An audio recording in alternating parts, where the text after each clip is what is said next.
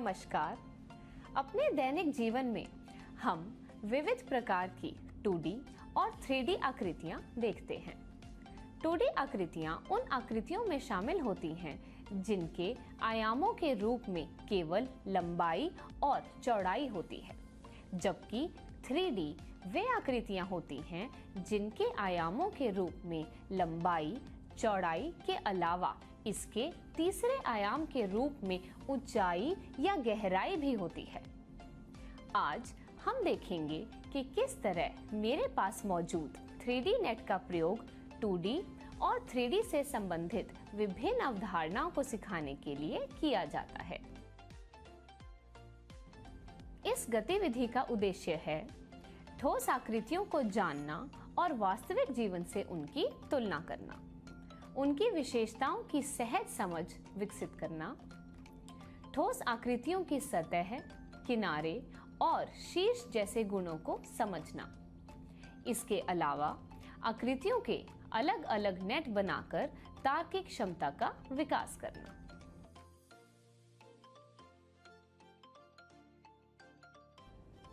Kit में कुल 14 3D paper net हैं। इनसे सात थ्री आकृतियाँ बनेंगी, जिनमें घन, घनाम, बेलन, शंकु, वर्गीय पिरामिड, त्रिकोणीय पिरामिड और त्रिकोणीय प्रिज्म प्रत्येक दो दो के सेट में मौजूद है।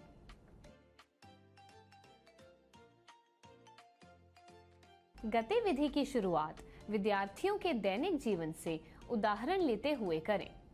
जैसे हम सभी पासे द्वारा विभिन्न खेल जैसे सांप सीढ़ी लूडो आदि खेलते हैं। पासे पर एक से छह तक बिंदु बने होते हैं।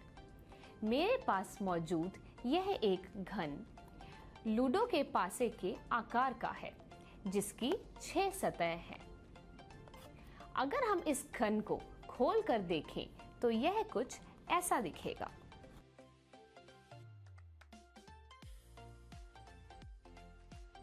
आपको यहाँ कुछ रेखाएँ दिखेंगी। इन्हें घन का किनारा कहते हैं, जहाँ से आप मोड़कर वापस घन बना सकते हैं। जैसा कि आप देख सकते हैं कि ये किनारे एक बिंदु पर आकर मिलते हैं। इसे कोना या शीर्ष कहते हैं। आइए मेरे साथ इस घन के सतह, किनारे और शीर्ष गिनते हैं। यहाँ सतहों की कुल संख्या एक, दो, तीन, चार, पाँच और छ है। और किनारों की कुल संख्या एक, दो, तीन, चार, पाँच छ सात, आठ, नौ, दस, ग्यारह, बारह, यानी बारह है। यहाँ कोनों की कुल संख्या एक, दो, तीन, चार पाँच, छ, सात, आठ, यानी कि आठ है। आइए अब एक अन्य वस्तु लेते हैं, जैसे कि यह रबड़। क्या पासे और इस रबड़ की सतह में कोई अंतर होता है? पासे यानी घन में सभी सतहों का आकार वर्ग जैसा होता है, जबकि रबड़ की सभी सतह आयताकार है।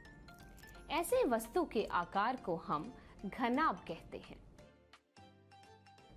इसके लिए हम रबड़ जैसी दिखने वाली इस आकृति को लेंगे।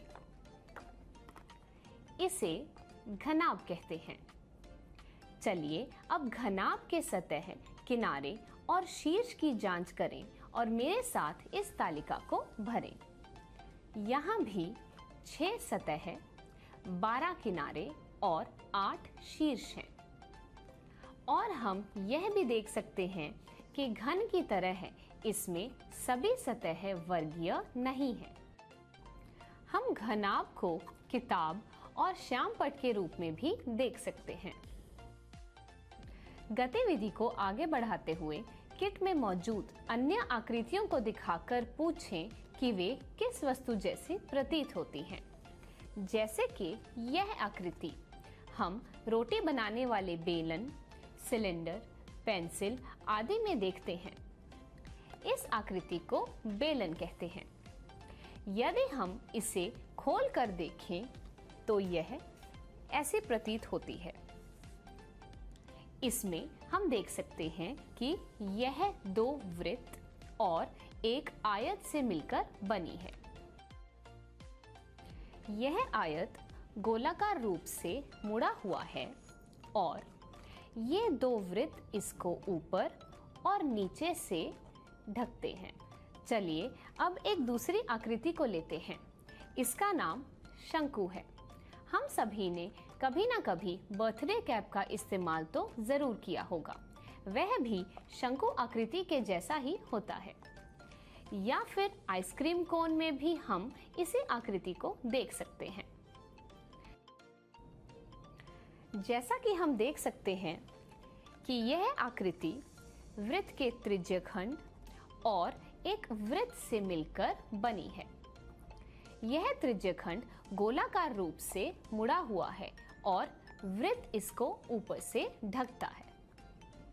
अब इसी प्रकार यदि हम इस त्रिकोणीय और इस वर्गीय पिरामिड को लें तो देखेंगे कि त्रिकोणीय पिरामिड चार त्रिभुजों से मिलकर बना है, जबकि वर्गीय पिरामिड चार त्रिभुज और एक वर्ग से मिलकर बना है। इस आकृति को प्रिज्म कहते हैं। यह तीन आयत और दो त्रिभुजों से मिलकर बना है। इन आकृतियों को विद्यार्थियों के दैनिक जीवन की वस्तुओं से जोड़ते हुए इनकी सतह, किनारे, शीर्ष के बारे में चर्चा करें और दी गई तालिका को पूरा करें। 3D और 2D आकृतियों की और बेहतर समझ विकसित करने के लिए विद्यार्थियों से पूछें कि अगर इन ठोस आकृतियों को दूसरी तरफ़ से खोला जाता तो खुलने पर चित्र कैसा बनता? अब आपकी बारी। आप भी अन्य आकृतियों के नए नए 2D नेट्स बनाइए। इस तरह हम 3D पेपर नेट्स के माध्यम से 2D और 3D आकृतियाँ और उनके संबंध के बारे में सिखा सकते हैं। सीखते रहें, सिखाते रहें। धन्यवाद।